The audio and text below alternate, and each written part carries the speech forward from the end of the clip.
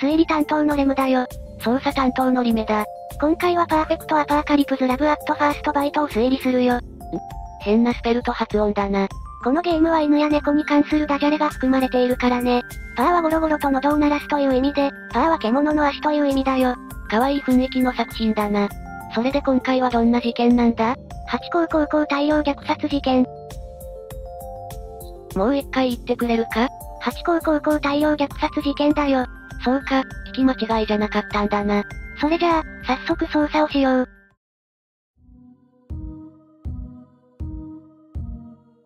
久しぶりに外から音が聞こえてきた。教室に少し前から隠れているけど、どれくらい時間が経ったのかわからない。僕はもう助からないんだ。ということはし、死ぬ準備ができたってことだよね。ここで死について考えるなんてうんざり、クローゼットの中で飢え死にを待つ必要なんてない。せめて最後は特別な人と一緒に過ごしたい。その特別な人が誰か全くわからないけど、ここにいてもきっと見つからない。このアパーカリプスの中を探しに行かなきゃ。かわいそうに、大量虐殺を見て錯乱しているんだな。いや、オリーブは元からおかしいらしい。そんなことある？とりあえず外に出ようか。こいつはひどいな。そもそもなんでこんなことになったんだ？どうにも、突然悪魔が暴れ出したらしい。つまり、誰かが悪魔を召喚したってことか？八甲高校に悪魔が封印されていたわけじゃないならそうなるね。今回の目的は悪魔を呼び出した犯人を探すことだ。とはいえ、犯人を見つけたとしてもオリーブが勝てるとは思えないぞ。だから生存者を見つけるんだ。オリーブの目的は最後の時間を特別な人と過ごすことだ。つまり、このゲームには恋愛要素がある。生存者の好感度を上げながら犯人を探すんだな。ただし、誰かと結ばれたとしても生存できるわけではないらしい。そうか、そりゃそうだよな。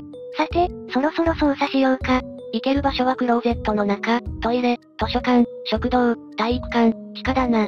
誰かが避難しているかもしれないし、地下に行こう。むむ？開かないみたいだな。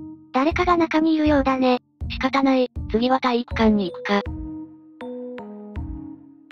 体育館にはハンサムな犬がたくさんいて、みんな優しくて才能があったのに。みんな死んじゃった。あ、お弁当がある。で、で、で、でも、やめとこう。死んだ犬のお弁当を食べるのは意地汚い気がする。クローゼットに隠れていてお腹は空いたけど。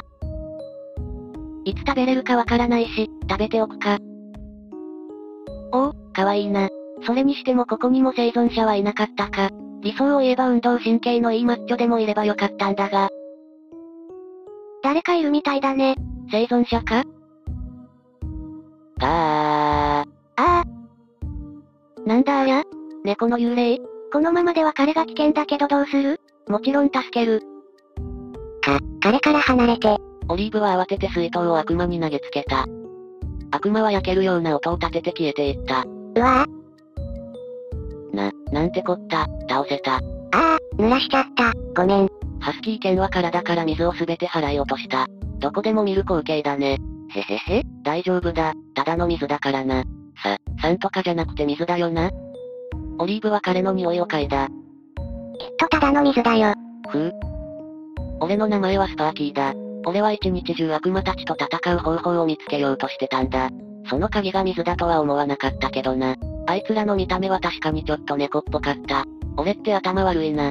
そ、そんなことないよ。君は本当に賢くて強くてかっこいいよ。あの幽霊は猫よりもあ、悪魔に似てるし。へへ、ありがとな。えっと、お前の名前は？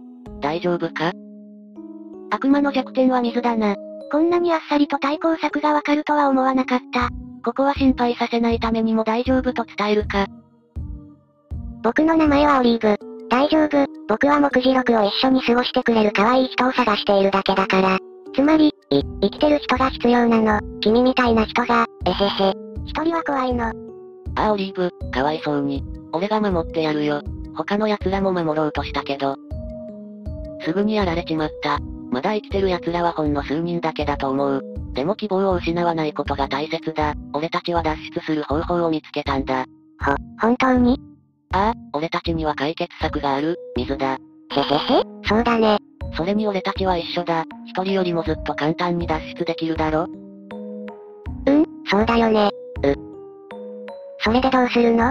水道管を壊して学校を水浸しにするんだ。地下室に配管が露出してる。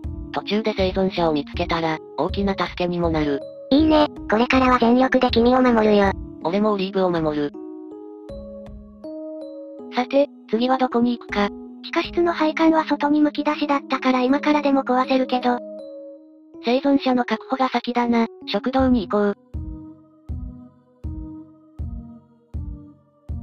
おっと、ここには誰もいないのか。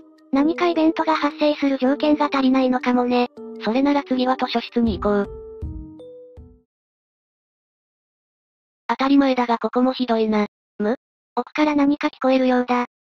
誰かが悪魔に襲われているかもしれない。急ごう。い、今の音は？二人は奥に進んでいった。おい誰かいるのか？ああ。これはお恥ずかしい。大丈夫か？悪魔が誰かを襲ってるような音がしたぞ。いいえ。ここに悪魔はいませんよ。私を悪魔と呼ばないならね。ああ、あれ、図書委員じゃない？何をしたの？オリーブ、下がってろ。可愛いですね。まずはあなたからだ。スパーキーは反転のある犬の足元をホッケースティックで払った。しかし彼は避けた。へへへへ。スパーキーはホッケースティックを犬の胸に突き刺し、犬を倒した。彼のナイフが地面に音を立てて落ちた。走れオリーブ。走れって言ったって。とはいえ、走らないなら残る選択肢は一つだ。ここは戦ってやる。オリーブは反転の犬のナイフを掴んだ。か、彼から離れて。ダルメシアンがバランスを取り戻す前に、オリーブは乱暴にナイフを振りかざした。このクソ野郎。痛みが彼に活力を与えたらしい。彼はオリーブの喉を掴んだ。お、オリーブ。スパーキーはダルメシアンの前足を首から引き離そうとするが、彼はびくともしない。かわいそうに、この状況はとても寂しいですよね。地獄なら寂しくありませんよ。嫉妬してしまいますねでも地獄でまた会えるでしょう。もう一度。もう一度。もう一度。オリーブの視界は暗くなった。ちなみに、走るを選んでも彼に捕まってデッドエンドだよ。くそ、なんてやつだ。他の生存者を見つけるしかないね。おい、誰かいないのか？誰かいるの？小さなコーギーが一番奥のトイレのドアを突き破って出てきた。おう、マイ、ドッグ、あなたたちに会えて嬉しいわ。ちょうどトイレットペーパーを食べ始めたところだったの。私はブラウニーよ、あなたたちは？俺はスパーキー、こっちはオリーブだ。ど、どうも。俺たちはこの大落札を終わらせるのを協力してくれる生存者を探してる。もちろん強制はしないけど、参加してくれるのならすごく助かる。八高高校の生徒として、犬の模範行動を守ることは俺たちの義務だ。足助けは全ての犬に奇跡をもたらす。それで、どうする？つ、はあ、あはははは、すごくダサい。ビーグル先生が言っているのを聞いたことがあるわ。ありがたいお言葉ね。手伝ってくれないの？えーと。もちろん手伝うわ。でも私たちが話しているのは目次録よ。どうやって止めるの？計画があるの？け、計画はあるよ。地下室のパイプを壊して水浸しにする。あ、悪魔たちは水が嫌いなんだ。本当なの？隣のトイレにいる犬も知っていればよかったのに。悪魔たちに渦を送りましょう。う、うわぁ、とても勇敢なんだね。ああ、すごい熱意だ。ブラウニーチームへようこそ。よかった、テンションはおかしいけどまともな生存者だ。それにしても、隣にいる犬が出てこないってことは、間に合わなかったのか、残念だ。それでも事態はかなり好転したよ。悪魔の弱点も分かったし、仲間もできた。危険な生存者も分かった。彼をどう扱うかがポイントになるだろうね。運動能力は間違いなく高いからな。今回はここまでだ。良ければ高評価をよろしく頼む。チャンネル登録もな。それでは、また会おう。やあ、推理担当のレムだよ。捜査担当のリメだ。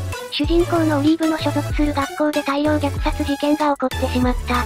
しかも犯人は悪魔だ。誰かが召喚したに違いない。オリーブは生存を諦めてしまっていて、特別な人と最後の時間を一緒に過ごすことに決めたが、自分以外の生存者に会って、悪魔の弱点も分かったことにより希望を取り戻した。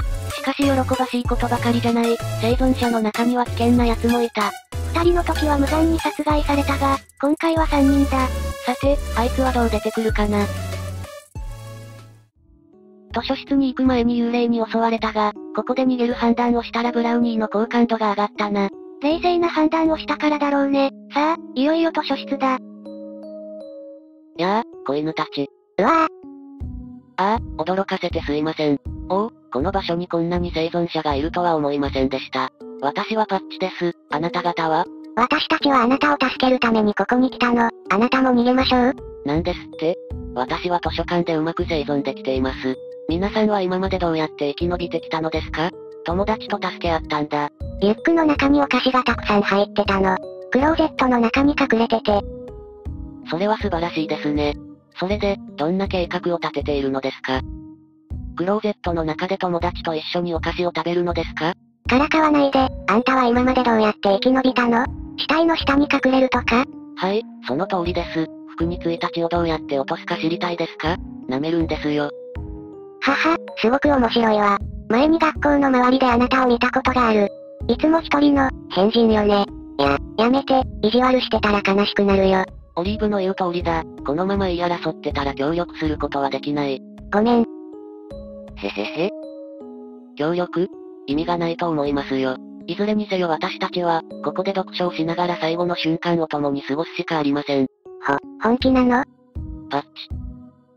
計画はある。聞きたくもないのか？聞きたくもありません。ここから出たくないのです。ブラウニーさんの言う通り、私はいつも一人です。また一人ぼっちの世界には戻りたくない。だから私抜きで続けてください。皆さんの健闘をお祈りしますよ。あ、ちょっと待って。パッチ、ごめんなさい。私が悪かったわ。あなたは一人じゃない、私たちがいる。大丈夫ですよブラウニーさん。あなたは真実を述べただけです。お願いします。出て行ってください。わかった、出て行くよ。すべてが終わったらまた戻ってくる。パ、パッチ、君は変人じゃない。オリーブはパッチに抱きついた。彼はオリーブの頭を撫でた。へへへ、わかっていますよ。さあ、行きなさい。好感度は上がったが、仲間にはならなかったな。それにしても、地下室の鍵はどこにあるんだろうな？ふむ、スパーキーが壊してくれるか、あるいはあそこだな。おお、そういえばスパーキーがいたな。早速試してもらおう。うん、パイプに誰がボスなのかわからせてやろう。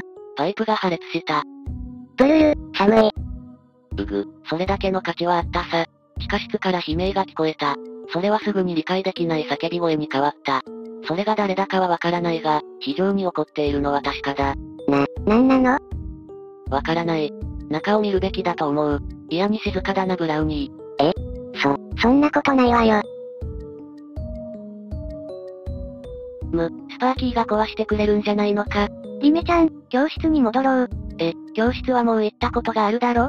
クローゼットの中に一度も戻ってないよね？なるほど、最初は隠れてただけだもんな。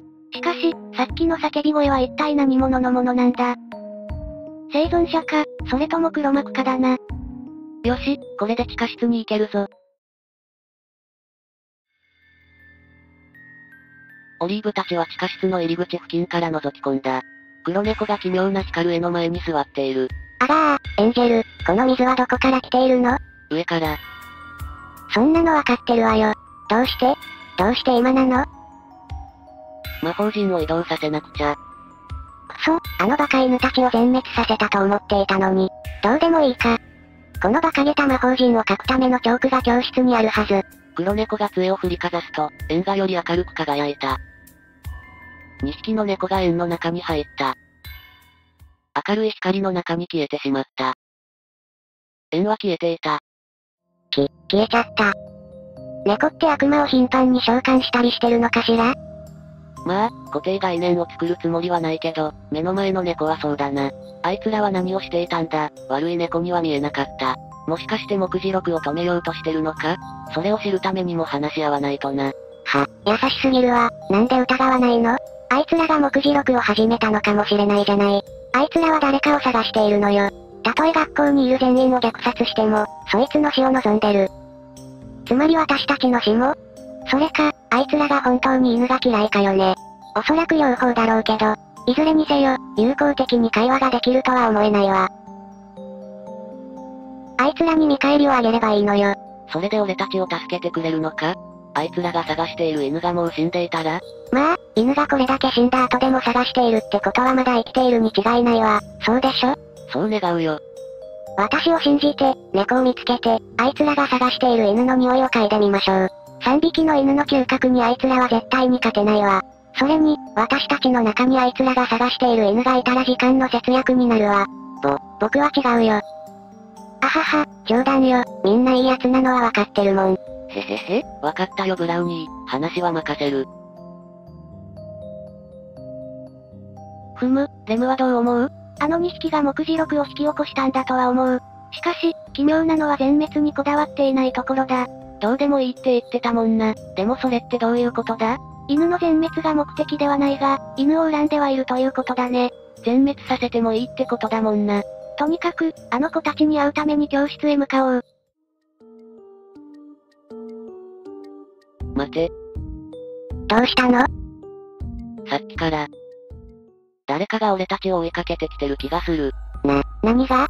ゆ、幽霊？心配すんな、生存者だよ。幽霊は足を通させない。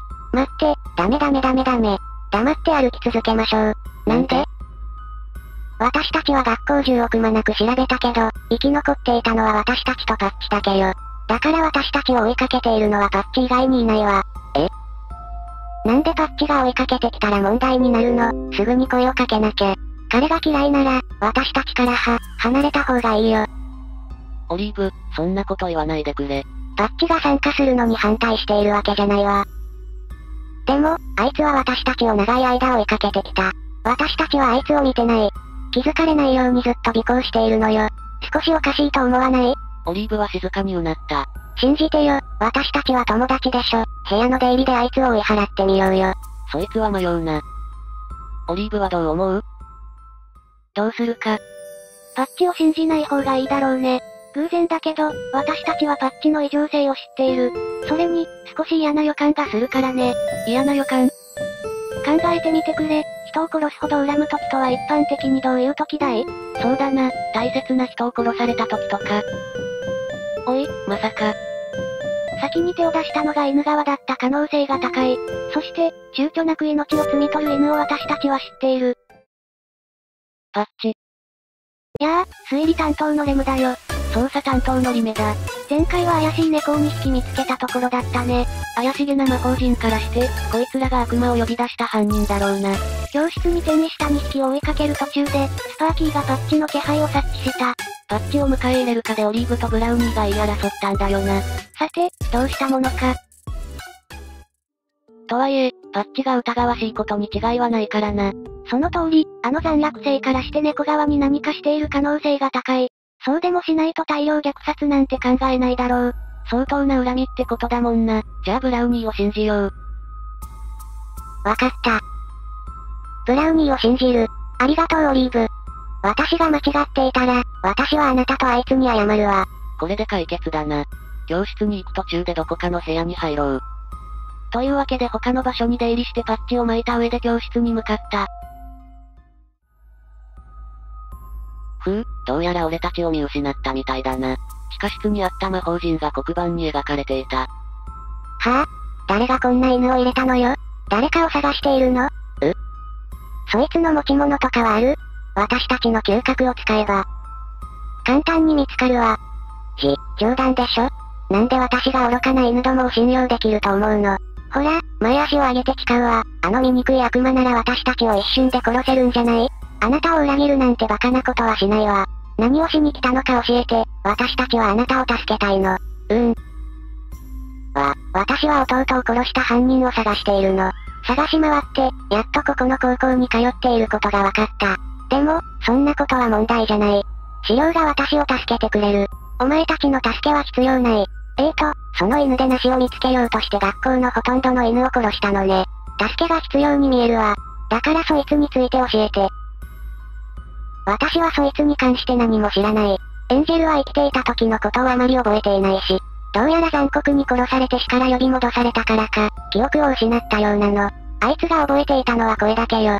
何を言われたの？やあ、子犬さん。どうやらそいつはあいつを犬と間違えたみたいなんだ。そんな。パ、パッチパッチお、覚えてるの？長身でイケメンのダルメシアンを。ちょっと不気味な感じだった優しくて礼儀正しかったか？そいつが君を殺していなかったらの話だけどな。うん？思い出した。パッチ。やっぱりあいつが原因か。これはもう擁護できないね。探すのを手伝おう。彼は僕たちを追いかけていたけど、見失ったんだと思う。でもぼ、僕は君が安らかに眠れるのなら、彼を見つけるために何でもするよ。黒猫はため息をついた。彼女は杖を振ってブラウニーとスパーキーを魔法の鎖で縛り上げた。な、何よ？ああ、何をしているの？これは行為だと考えて。私は犬と決して協力しないけど、あなただけ例外にしてあげる。助かるわ。あなたがいい仕事をするための刺激として、この2匹は預かる。パッチを見つけられなかったり、見つける前に死んだらこいつらを殺すわよ。え？そ、その必要はないわ。私たちがいないとオリーブが死んじゃう。ぷ、あなたたちがいてもそのサイコパスからは守りきれないと思うわ。僕が行く。う？うお、オリーブだよ。オリーブと一緒に行きたい。本気かよ？パッチスが。僕を殺せると思う？僕ならオリーブを守れる。か、彼をどうするの？こ、これ以上犬が死ぬのは見たくない。わかったよ。うぐ、何を言っているの？犬と協力するだけじゃなくて、犬の命令に従うつもりなの？大丈夫だよ、ここ。僕はあの子と話をしたいだけだから。わかったわ。あなたを信じるわよ、エンジェル。わ、わかったわ。気をつけろよオリーブ。とりあえず話はついたな。エンジェルの好感度を上げながらパッチを探し回るとして、今回の話をまとめようか。この事件はパッチがエンジェルを殺害したことから発生した。エンジェルを殺された姉のココが犯人を探して、ハチ公高校に通っているという情報を掴んだ。しかしそれ以上の情報が得られなかったから、ここはハチ公高校の生徒を全滅させようとしたんだ。ブラウニーの予想が当たったってわけだな。ところで、あいつはどこにいると思う？パッチは運動神経もいいけど、頭も切れる。オリーブたちを追跡していたのなら、配管を破壊した現場を見ていたはずだ。間違いなく何か意味がある行動だと考えるだろう。資料の弱点が水だってバレてるってことか。だから、自分が最も有利な場所にいるはずだ。地下室か。へへへ。やあ子犬たち、エンジェル、もう僕に会いたくないのかと思っていたよ。それを望んでいたの。君たちが来ることは分かっていたさ。パッチは水を救うために足を伸ばした。水が弱点だと忘れているほど君たちが愚かだとは思わなかったけどね。ああ、気、気をつけてエンジェル。オリーブ、だったかな？なぜ私を助けてくれないんだい？君が望むものを何でも与えよう。君を見れば、孤独であることはわかる。私を助けてくれたら、君の彼氏になろう。そして、ボーイフレンドは君を決して殺さない。答えは決まっているね。ああ、もちろんだ。う、嘘だ。君は嘘ばっかりだ。あはははは。賢いじゃないか。皮肉なものだ。君は天使のように生涯を終えることもできたが、もう私にとって何の価値もない。顔もわからない状態の犠牲者として死ね。そうは。させない。な、何をした？エンジェル？何をしたんだ？やめろ。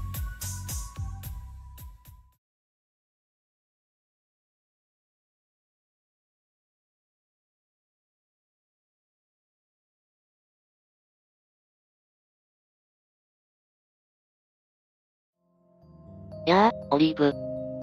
ど、どうも。エンジェル？君なの？な、何をしたの？こいつが僕から奪ったものを僕もこいつから奪ったんだ。こいつはもう誰も傷つけられないよ。ど、どう感じればいいのかわからないけど、げ、元気そうでよかったかな？僕もだよ。ここに、君たちを閉じ込めている障壁を解除するように言うよ。そうすれば、君たちはここから出られる。助けてくれてありがとう、オリーブ。君は僕を幸せにしてくれた。ほ、本当に？エンジェル。僕は長い間一人ぼっちだった。誰かを幸せにできるとは思いもしなかった。ぼ、僕はただ、誰かが僕を幸せにしてくれるって思っていただけなんだ。でも、人を笑顔にすることが僕の生きがいだったんだね。僕の人生に特別な人がたくさんいて嬉しいよ。うんさあ行こう、ミルクシェイクでお祝いをしよう。エンジェルはパッチに体を奪われたから、パッチの体を奪ったということか。疑似的にエンジェルも生き返ったし、パッチが人を殺すこともなくなった。これにて事件解決だ。なあ、大量虐殺事件の件は？私たちは何も見なかった、いいね？あ、はい。